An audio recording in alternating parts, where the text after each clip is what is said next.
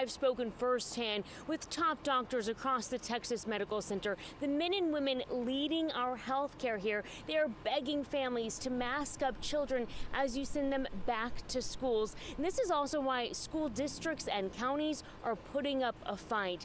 But unfortunately, this health safety protocol has become polarizing for many parents.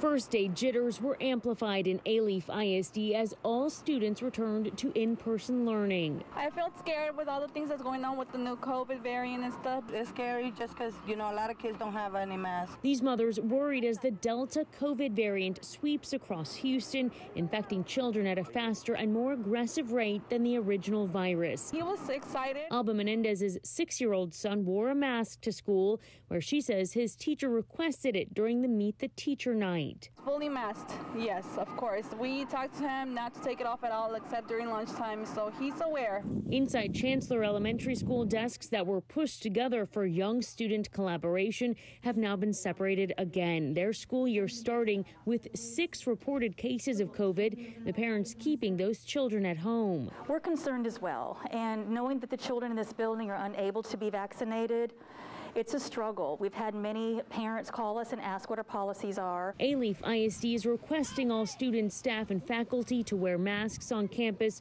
but not requiring it. There's no reason to defy the governor's order. While in Katy tonight, the debate was heated we during the school board meeting's public comments. I repeat, masks must be optional. If you defy the law of the land and higher elected officials, such as the governor, we will have to defy you.